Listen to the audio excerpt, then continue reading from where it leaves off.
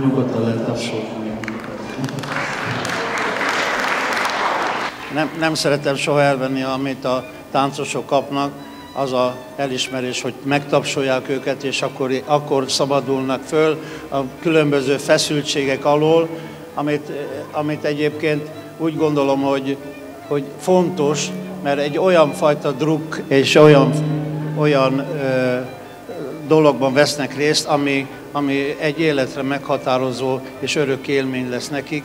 Tehát ezek az előadások, ahol megmutathatják, ahol előtte napokat, heteket, sőt hónapokat készülünk, hogy egy-egy előadáson meg tudják mutatni magukat.